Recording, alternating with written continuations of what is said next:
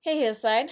Well, in our Monday night Bible study, we've been looking at Psalm 119, and this one uh, is from a couple weeks ago, the verse I'm going to talk about. But um, first, just the whole psalm is really just focusing on the laws of God, the commands of God, and the psalmist's desire to not only learn them and to follow them, um, but also this kind of shifting the idea from instead of seeing the law and the commandments as a burden to really delighting in them and finding comfort in God's law.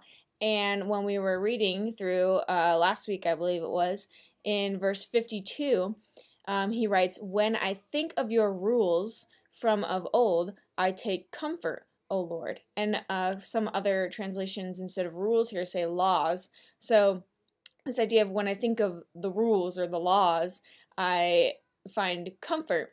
And um, at first, that kind of struck me as weird. I was like, oh, well, who likes rules? Or some people do like rules, though, I realized. Some people find comfort in having those guidelines and laws um, placed out, but, all, but a lot of people also just, you know, see rules and laws as all these like burdensome things you have to follow. And um, why would you take comfort in having a bunch of rules put on you?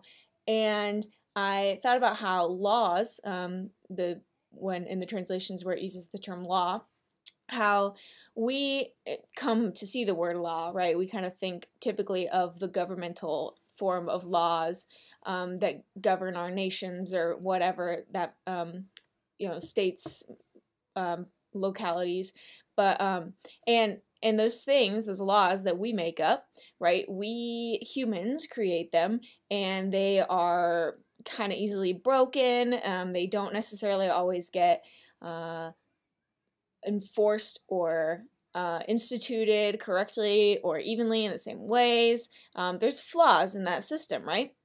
But then I thought, um, my scientific brain came out and I thought about a scientific law or a law of nature, right? These things are like gravity, for instance, is a, a, a natural law.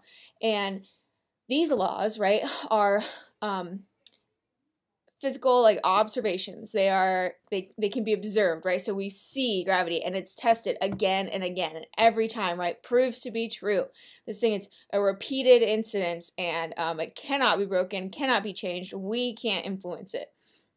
Um, so this idea that it stands right and it's forever and um, tangible, observed, and that that is more like God's laws, right? God's laws are more like scientific laws in that, well, He did create the laws of nature, right?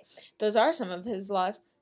Uh, and so, this idea that they are firm, they are unchanging, they are observable, and that is comforting, right? The fact that not necessarily having to follow the rules, but this idea that God said them, therefore I know that they are true. I know that they are going to stand, that they will uh, be observed. Um, and that I think is where the comfort comes in, right? Not knowing, like, oh, is it going to be done fairly? Is it going to be always the same um, like human laws? No, these laws are firm. So, uh, today, hopefully, um, you know, look up some of God's laws, some of God's commands, and find comfort in knowing that um, that they are true no matter what, always, and um, they will stand firm. So awesome. Have a good one, guys.